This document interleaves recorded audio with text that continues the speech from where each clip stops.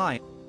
In this video I will show you how to fix the cannot currently show the desktop VNC viewer message in Raspberry Pi desktop.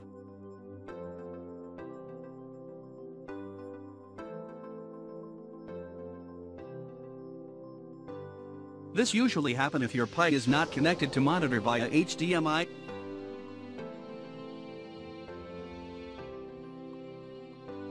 Step 1. Log in Raspberry Pi via PuTTY.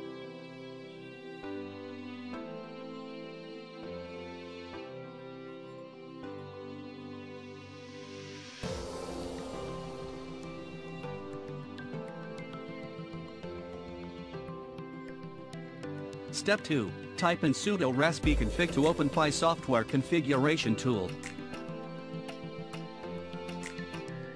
Step 3. Scroll down to advanced options.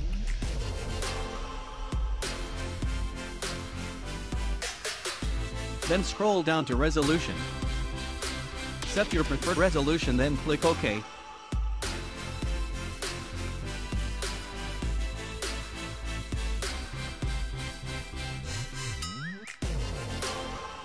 Click Finish then reboot.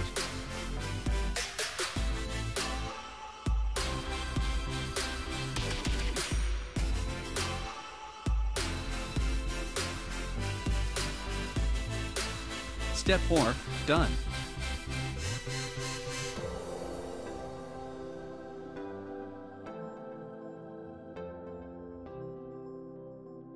Relog into your VNC viewer. You should now be able to view your Pi desktop via VNC viewer. That's it. If you like this video, kindly support this channel by hitting like and subscribe button. Thank you. See you in my next videos.